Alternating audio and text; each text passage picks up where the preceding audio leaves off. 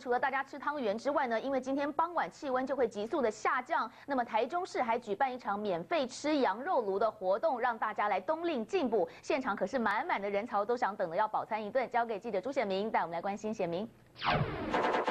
好，只不过今天是冬至日的天气冷，所以说来碗热汤是最好。因此你可以看到了，有业者呢提供了免费的两千份的羊肉炉呢给民众。你可以看到呢，汤锅里头呢到处都是羊肉、豆皮呢，还有金针菇的料是相当的丰富。而民众呢，拿来是可以说的吃的是一碗接一碗。而后头呢还有人排着队，你可以看到了这位太太她来带孩子呢一起来吃这个羊肉炉。我们在现场来问一下呢，她到底呢拿到这个羊肉炉之后，她感觉怎么样？小姐，这羊肉炉为什么想要吃羊肉炉呢？今天？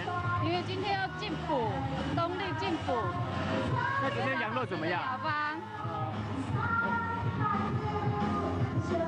好，你可以看到，事实上这位小姐呢拿了呢这一碗的羊肉卤呢，待会就要到旁边的来享用哦。而虽然说今天的天气还是有点冷的，不过呢可以看到大家呢还是排队人潮呢非常的多。而你可以看到业者提供的羊肉卤呢，更是一锅接一锅。他们今天呢总共是用掉了几乎是上百公斤的羊肉，同时呢两千多份的羊肉卤，你看又有新的一锅堆了上来，里头全部都是羊肉带皮的，而且还有豆皮，也让了这边的民众呢大家是大快朵颐。他们是不是感觉呢冬令进补香？当的对时机啊，主播。